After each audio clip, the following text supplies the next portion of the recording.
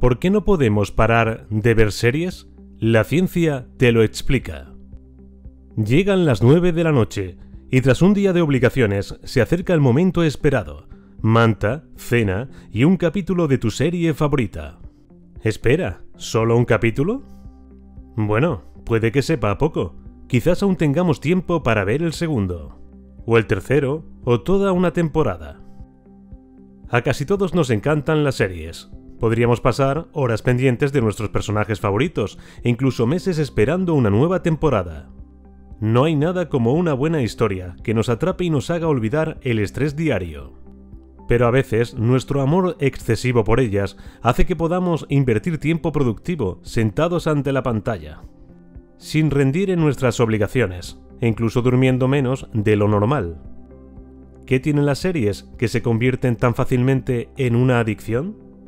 La neurociencia y la psicología pueden aportar algunas explicaciones. Empatizamos con los personajes y sus historias. La empatía es la capacidad de reconocer los sentimientos de los demás, y esto es lo que nos sucede cuando visualizamos una historia. Nuestra capacidad para identificarnos con otras personas, incluso en la ficción, hace que interioricemos sus emociones y sintamos que participamos ante un fin común. Por ello, cuando nos implicamos en historias complejas y cargadas de emoción, no podemos dejar de desear saber qué les ocurrirá y si todo acabará bien en sus vidas. Algo así ha demostrado el neuroeconomista Paul Zack de Claremont Graduate University. Este investigador mostraba en un vídeo cómo un padre pasaba los últimos días con su hijo enfermo.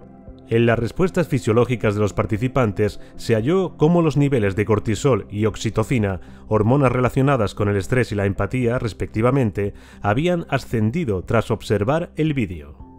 Especialmente entre los sujetos que mostraban mayores conductas de afectación. El suspense y nuestra reacción cerebral. Un cliffhanger es un final abierto que nos deja sencillamente en la estacada. Es ese final de cada temporada de Juego de Tronos, que nos deja con la boca abierta y con una necesidad casi exasperante de saber más. Parece que la angustia de no saber lo que va a ocurrir es lo que hace que nuestro cuerpo produzca un exceso de CRH, hormona implicada en los procesos de estrés, que nos hace mantenernos en estado de alerta lo cual puede incluso hacer que perdamos la sensación de cansancio y sigamos dando clic al siguiente capítulo. Además, cuando disfrutamos de nuestro show favorito, nuestro cerebro produce continuamente dopamina, un neurotransmisor implicado en el refuerzo cerebral que también influye en nuestra sensación de placer cuando tomamos drogas o tenemos sexo. Y esto hace que nos sintamos adictos a esta forma de placer. Otros estudios han hallado que nuestro cerebro tiende a focalizarse especialmente en aquello que nos provoca suspense, mientras que ignora lo demás. Es por eso que ante una escena que nos mantiene en alerta, nos sintamos tan inmersos en la pantalla que nos olvidemos de que tenemos que lavar la ropa o hacer la cena, como si estuviéramos en una visión de túnel. Un refugio ante el estrés. A veces nos sentimos tan cargados de estrés diario que necesitamos tomarnos un respiro, y ver series puede suponer una vía de escape ante nuestros problemas reales. Una maratón de series puede ser un curativo temporal y una ayuda para desconectar de los estresones diarios, que nos mantienen en alerta cognitivamente. Además, puede unirnos a otras personas que vean el mismo show, siendo fuente de conversaciones con las que reforzar nuestra vida social y compartir puntos en común con los demás. Aprendizaje por imitación.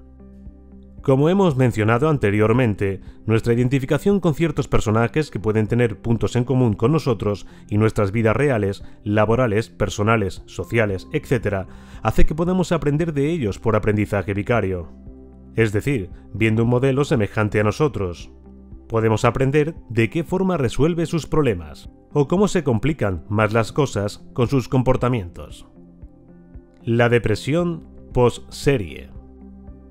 La felicidad o excitación que nos produce ver series es proporcional a la tristeza y el vacío que nos deja cuando no podemos ver más episodios. Vivimos en ese momento una situación que puede ser considerada de pérdida y podemos sentirnos poco estimulados. Además, cuando volvemos a la realidad es cuando las obligaciones que hemos dejado a un lado se nos echan encima. Nos quedan 6 horas para tener que levantarnos. No hemos preparado la comida para el día siguiente y nuestro nivel de estrés puede llegar a ser aún mayor que al principio. Por ello, debemos esforzarnos en consumir series de forma responsable.